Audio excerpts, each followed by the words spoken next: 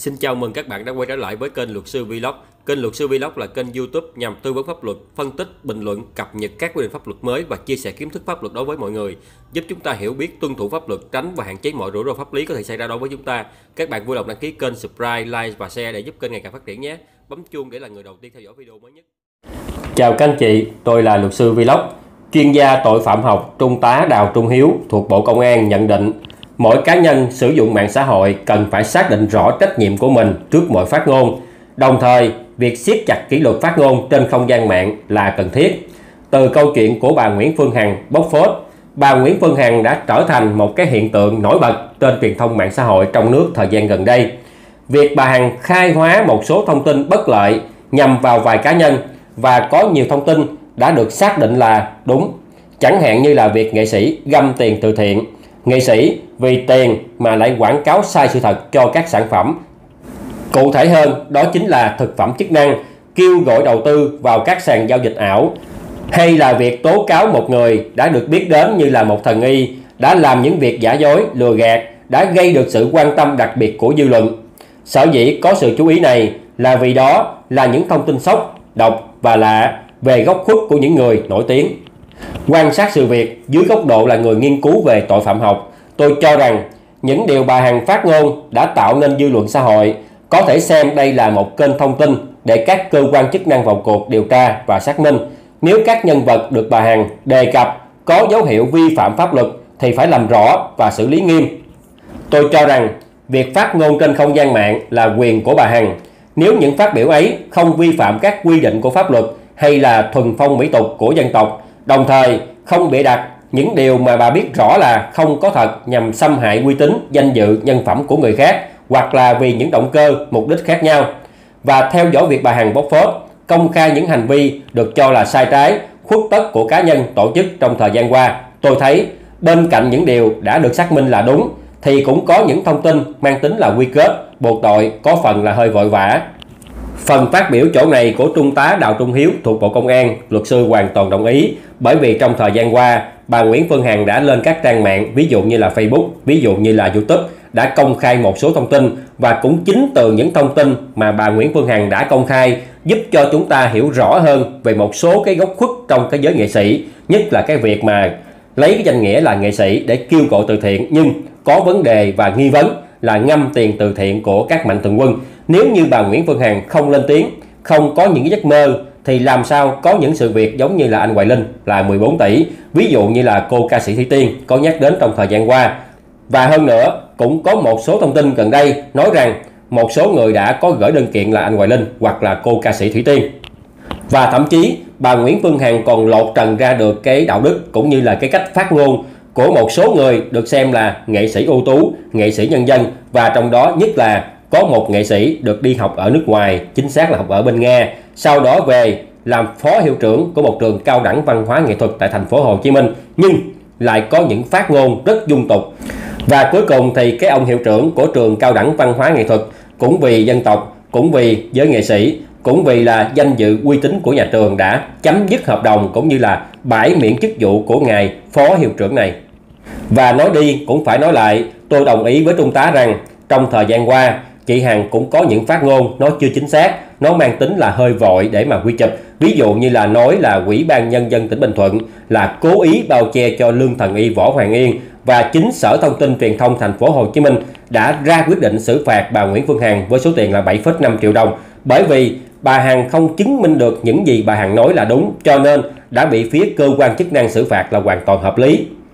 Và tiếp theo nữa, theo như lời Trung tá thì nếu bà Hằng có những bằng chứng củng cố cho các cáo buộc của mình thì điều đó có ích cho xã hội vì giúp làm sáng tỏ ít nhất là những cái khuất tất, những cái sai trái của một số người lợi dụng uy tín, nghề nghiệp để thực hiện hành vi là xâm hại lợi ích của xã hội, công bằng của xã hội. Nhưng nếu không có các chứng cứ thì việc tuyên bố công khai hoặc là ám chỉ những thông tin này sẽ xâm hại đến quyền và lợi ích hợp pháp của cá nhân, tổ chức có liên quan và điều này đã dẫn đến việc bà Hằng phải gánh chịu những cái rủi ro về mặt pháp lý. Cụ thể là mới đây, bà đã bị xử phạt vi phạm hành chính về một vài phát ngôn liên quan đến một cơ quan nhà nước, đó chính là Ủy ban Nhân dân tỉnh Bình Thuận. Và có thể trong thời gian tới, bà phải đối mặt với một số sự kiện khác Ở đây đó chính là việc bà Lê Thị Giao đã chính thức khởi kiện bà Nguyễn Phương Hằng tại Tòa án Nhân dân quận nhất thành phố Hồ Chí Minh đòi số tiền là 1.000 tỷ đồng. Nhưng mà một số người trên mạng lại nhận định rằng có thể đây là một vụ án nhằm đánh bóng tên tuổi của bà Giàu thôi, chứ bản thân bà Giàu không có cơ sở để yêu cầu bà Nguyễn Phương Hằng phải bồi thường cho mình là 1.000 tỷ đồng mà một số người lại ví von rằng bồi thường 1.000 cái lá mít. Tiếp theo thì trung tá này nhận thấy việc minh bạch thông tin là cần thiết nhưng phải tính đến liều lượng và độ rủi ro. Với những vấn đề chưa rõ hoặc là không có chứng cứ cụ thể thì không nên đăng tải lên mạng xã hội vì sự tự do trong phát ngôn của mình có thể làm ảnh hưởng đến quyền tự do của người khác. Ngoài ra, nếu có những chứng cứ xác đáng nên cung cấp cho phía cơ quan chức năng chứ khi chưa có kết luận của cơ quan chức năng có thẩm quyền thì việc công khai hóa trên mạng xã hội có thể mang đến cho chủ thể phát ngôn những bất lợi nhất định. Và quan sát phản ứng của cơ quan chức năng trong sự việc này, tôi chưa thấy có sự kịp thời cần thiết. Có thể thấy rằng truyền thông chính thống chưa quan tâm nhiều đến những hoạt động nhân đạo, từ thiện rất tích cực của gia đình bà Nguyễn Phương Hằng, cũng chưa theo dòng thời sự để tìm hiểu các cáo buộc của bà Nguyễn Phương Hằng. Điểm này thì tôi hoàn toàn đồng ý với Trung tá bởi vì lý do như thế này. Thứ nhất, ban đầu bà Nguyễn Phương Hằng chỉ tố cáo ông Lương Thần Y Võ Hoàng Yên lừa đảo tiền của mình thôi và thậm chí là lừa đảo tiền của bà con bá tánh về việc khám chữa bệnh lấy số tiền quá cao trong khi ông Võ Hoàng Yên không có đủ cơ sở để mà hành nghề khám chữa bệnh và có thể đâu đó là dẫn đến việc khám chữa bệnh chết người thì ban đầu bà Nguyễn Phương Hằng chỉ tố cáo mỗi ông Lương Thần Y Võ Hoàng Yên thôi. Tuy nhiên thì ông Lương Thần Y Võ Hoàng Yên này lại im lặng. Và cái sự việc này không thể nào bị trùng xuống được. Bà Nguyễn Phương Hằng buộc phải nói về cái đám nghệ sĩ. Đám nghệ sĩ ở đây đó chính là bốn người có liên quan mật thiết với bà Nguyễn Phương Hằng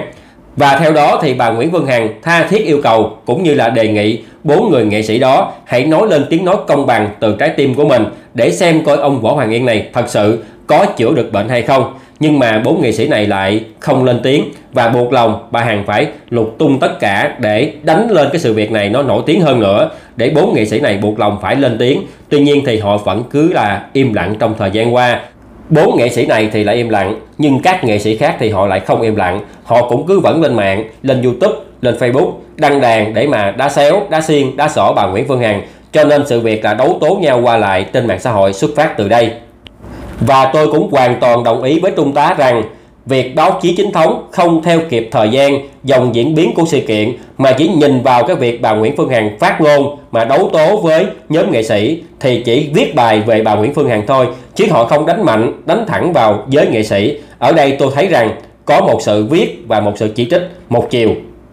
Và tiếp theo thì Trung tá nhận định với những sự kiện xôn xao dư luận và truyền thông như thế này thì cơ quan chức năng cần sớm vào cuộc để định hướng cho các bên ứng xử trên mạng xã hội phù hợp với đòi hỏi của pháp luật. Đồng thời nên coi những thông tin mà bà Hằng đưa ra như là một kênh tham khảo để tiến hành xác minh làm rõ sự việc. Đặc biệt, việc siết chặt kỷ luật phát ngôn trên không gian mạng là cần thiết. Đồng thời, người dân nên rất chủ động tìm hiểu và nhận thức đầy đủ các quy định của pháp luật về ứng xử trên không gian mạng để tự mình kiểm soát phát ngôn, không làm những việc pháp luật cấm, đồng thời biết cách để bảo vệ quyền và lợi ích hợp pháp của mình khi bị xâm hại.